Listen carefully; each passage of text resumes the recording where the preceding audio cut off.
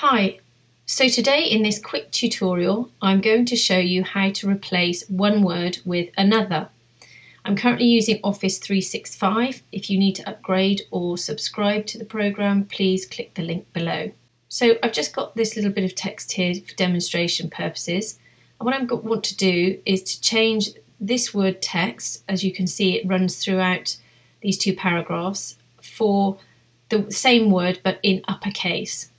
So what I need to do is I need to go up to the word menu right at the top of my page here and click the edit button, come down to find and click replace.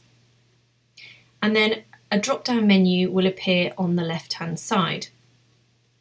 Now quite simply in here I will just type in the word I want replaced into the top menu bar and immediately Word will do the work for you and will find every single word in your document that you typed in to this box here. Then in the box below you just simply type the word you want it to re be replaced by. Now there's two different options here.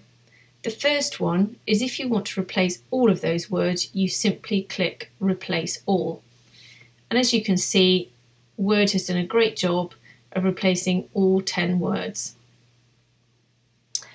If I don't want to do that and I just want to change a few of those words, if I just go back, I click find again, what you will find is all of your words that you want to replace are highlighted in yellow and yet one word is highlighted in green and this is the one that's currently selected. So this is the word that Microsoft is talking about.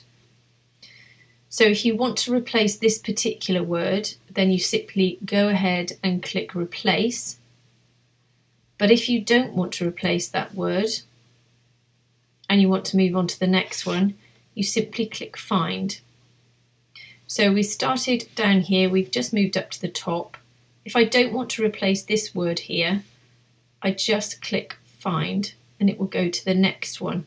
If I want to replace that one, I click replace and I don't want to replace that one, I click find and it will simply move on to the next word. So as you can see, it's quite simple once you know how, and once you know where to find it.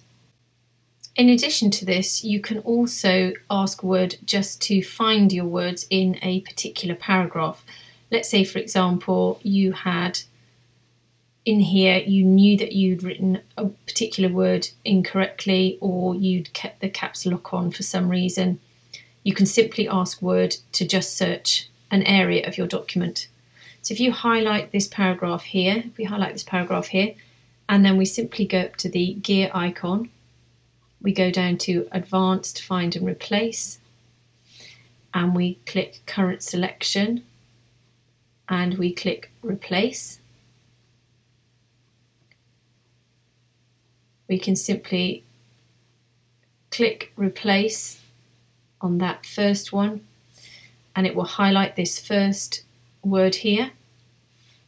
If I want to replace that one, I click replace and it's replaced that for me. If I don't want to replace this one, I simply click, click find next and it will move to the next word. Click replace and it will move to the next one. And once we get to the end, you will see that Word then asks you, we've reached the end of the document, do you want to continue searching from the beginning? That gives you the option then if you want to continue through your document you can do. If not and you're happy that it's just changed those words you want in that paragraph then you can simply click no.